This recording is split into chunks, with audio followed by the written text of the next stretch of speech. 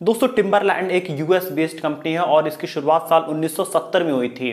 ये ट्रैकिंग और outdoor shoes बनाने के लिए पूरी दुनिया में जानी जाती है। साल 2009 में इन्होंने रिलायंस के साथ भारत में एंटर करने की कोशिश करी और उस समय भारत में इस मार्केट को सबसे ज़्यादा जो कैप्चर करके रखा था वो वुडलैंड था। टिम्बरलैंड भारत में आता है और ये वो सेम वही स्ट्रैटेजीज यूज़ करता है जो कि वुडलैंड ने यूज़ करी। और same logo same design same communication strategy same stores का डिज़ाइन सब कुछ एक जैसा वो करने की कोशिश करता है वुडलैंड जैसा। लेकिन 206 साल के अंदर ही टिम्बरलैंड को भारत छोड़ देना पड़ता है। इसके पीछे दो कारण हैं।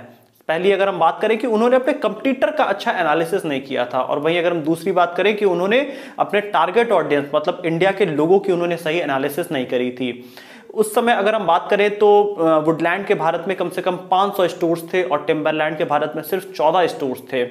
टिम्बरलैंड के जितने प्राइस में शूज़ बन रहे थे, उससे वन थर्ड प्राइस में वुडलैंड भारत में शूज़ बेचा कर रही थी।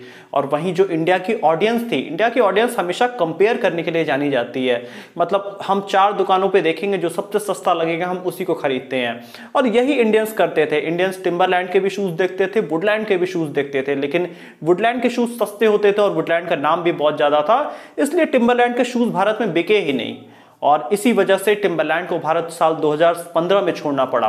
दोस्तों, आप हमेशा अपने कंप्यूटर और अपने टारगेट ऑडियंस का सही एनालिसिस करिए।